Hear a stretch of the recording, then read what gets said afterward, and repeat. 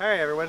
Uh, we're going to talk about feeding now. Uh, in this part of the world, uh, what we do is feed our bees in the fall and typically not again in the spring.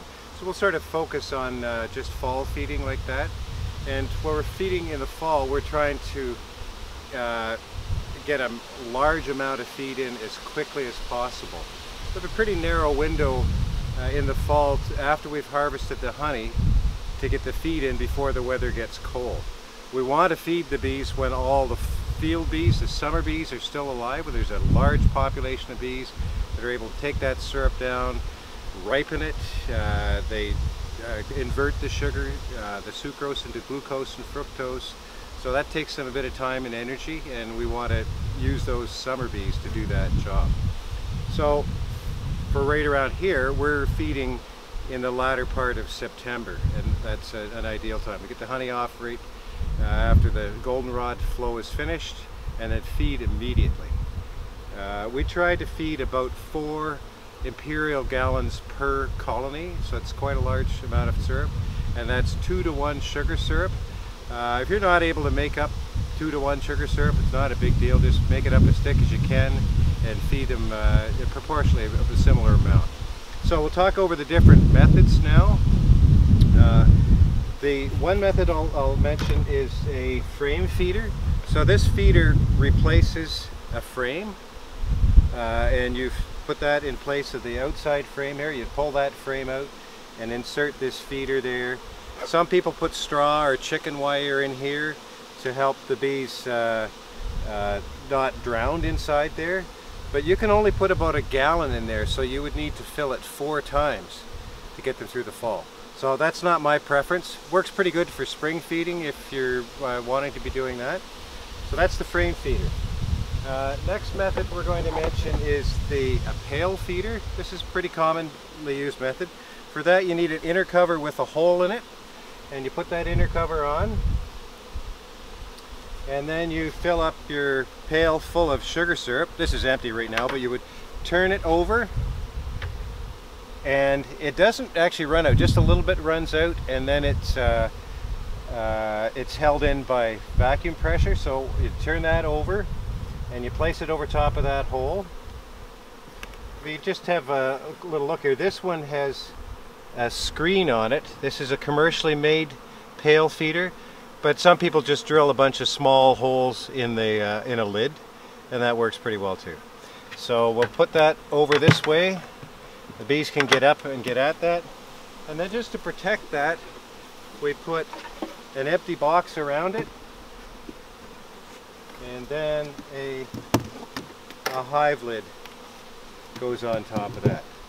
So now we're done. We've got that feeding's done. This method works pretty well, but it's rather slow. So it's also not my favorite method.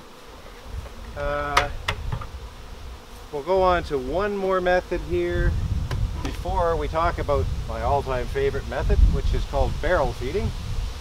So the next method we've got here is a hive top feeder. There's a wooden box with a slot built into the middle so the bees can come up through that into these two tanks here. So we set that on the hive like so, and this will hold four gallons. So it'll hold a lot of syrup and we can fill it up all at once and that's enough going to be enough for the bees to winter on. So we just pour our syrup in.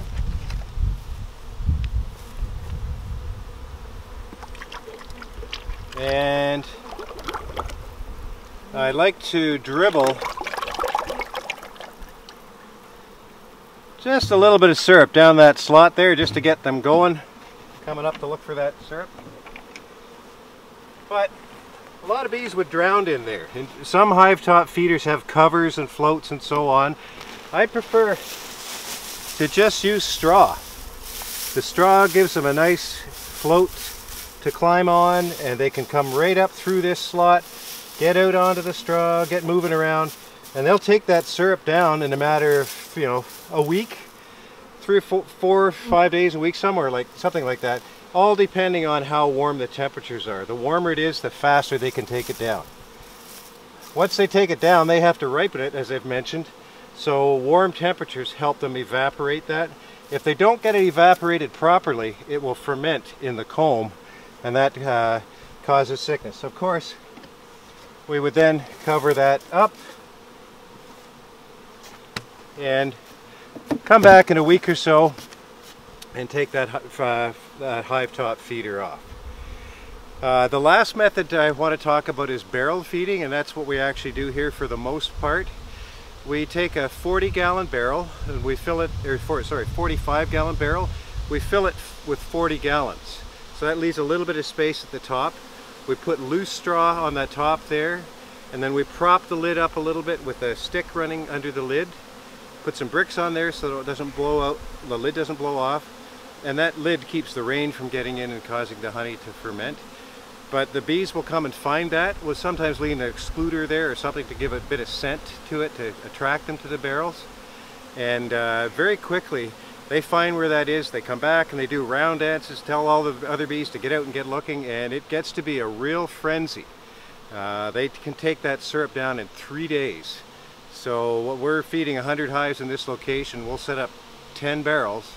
We put one 40 gallon barrel out for every 10 colonies and that, that's down in three days. It's amazing how quickly they can move that syrup uh, in and, and get it uh, into position in their hive. The, um, some people think that's maybe not a good idea. It might encourage robbing. I totally disagree with that. It actually prevents robbing because the bees get all the food they need very quickly and they're not interested in robbing after that. They're not interested in checking each other out uh, for, for food or even uh, it does prevent them from robbing at our honey house as well.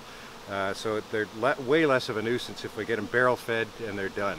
It's like the getting they just can't get up one more time to go to the buffet table.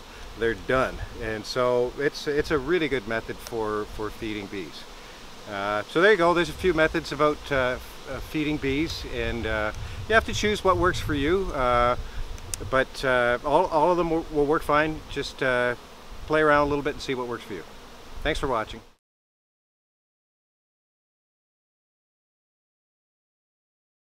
So today we're just going to finish up with uh, overwintering your colonies and how to prepare them for the winter. So we've already um, talked about any sort of medication disease control you're going to have to do in the fall and also feeding your bees. So we're gonna pretend this hive is a well-fed, uh, treated hive, ready to go into winter. We're also gonna pretend that it's not a 32 degree July day. Um, so right now we're kind of talking late October, early November. Um, so our bees are kind of shut down for the year. It's getting pretty darn cold. Um, we're ready to shut her down for the year. So uh, all our hives are down to just single brood chambers now or double brood chambers. Um, just lid, inner cover, and and again the brood chamber and the bees. So that's what we've gotten things down to. Um, well, with the first little bit of equipment we use during the winter is what's called an entrance reducer or a mouse guard. Um, and that just simply goes in the entrance to exactly do what it sounds like it should do, reduce the entrance. Uh, but it also, what it does is protect uh, the bees from having mice hop in from the outside and into the colonies. So this will just slide on in. We'll try not to squish any bees. It should just slide right on into the front of that hive uh, and re really reduce that entrance sound so that the bees can kind of control the cold air that's kind of coming into the colony. And uh, also, especially late fall, this it's a good idea to reduce these entrance sounds to, to deal with any sort of robbing. It's a lot easier for the bees to sort of guard that little bit of territory than it is that whole width of that entrance. So we put in our entrance reducer, that's our first thing. If you're using a screen bottom board, um, there is an opening at the back and when it comes into winter and, and the wind in the winter time, the last thing we want is cross ventilation. So an opening at the back, which would be your regular entrance, and then, or sorry, at the front, and an opening at the back. And that just allows wind to blow right on through there without the bees being able to control that. So with that screen bottom board, you're gonna have to plug it up somehow. So this is just a beveled back block uh, that just fits in that hole. If you don't have a screen bottom board, you don't have to worry about it. But that would just simply fit in the hole at the back. Um, that's pretty easy to do. So just plug that up. When you're talking about overwintering bees, so we talk about them being able to ventilate and all that sort of stuff. Um, it's very, one of the biggest things uh, you're gonna need is an upper entrance. So if you're using a wooden uh, inner cover. It, has, it should have a little notch on one side, and you're going to want to flip that to open. Uh, we don't use that here. You've seen in a lot of the videos, we use this little cloth inner cover. Um, so for that, we have upper entrances drilled into all our boxes here. But this time of year, it's very important that, that we have those upper entrances. First for ventilation. Uh, during the winter, the bees will ventilate um, and you know push air through the colony and for whatever you know purpose they need. Uh, but the second big thing is to to get rid of condensation and humidity. Uh, sorry, get rid of humidity so it doesn't really condense.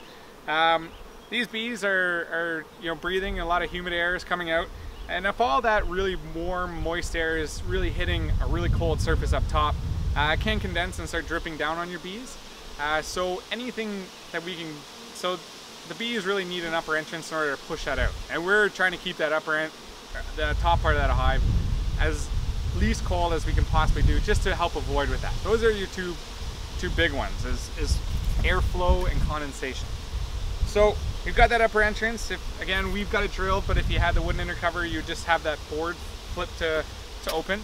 Uh, the next little bit is some sort of insulation. So this is some old roofing insulation. Um, the, the only sort of insulation you don't really want to put on your hive is anything that can suck up moisture. Um, I know it's, it's a good idea.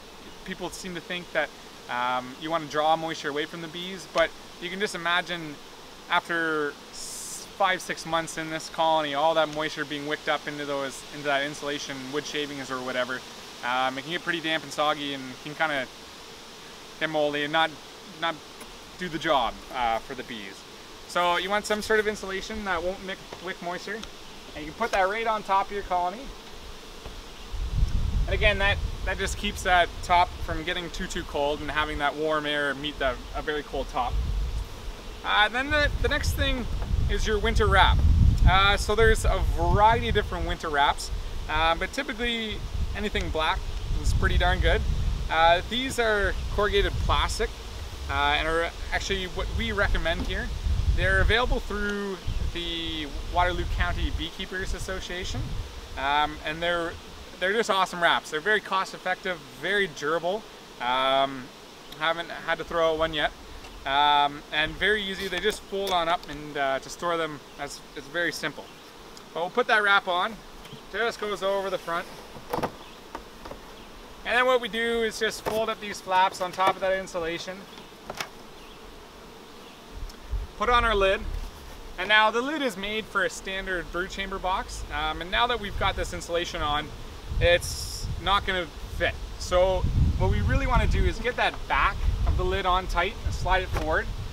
That way it is on a bit of an angle sloping back so any sort of that the rain slash snow uh, that's going to be pelting this lid will just kind of slop off the back and we won't have to deal with a big pile up of that sort of stuff in front of the colony. Um, so we have that tilted to the back and the last thing because that lid isn't on there super tight we just end up putting a brick on top of our colony and we're ready for winter. Say Merry Christmas. Merry Christmas. yeah, Merry Christmas. Happy holiday.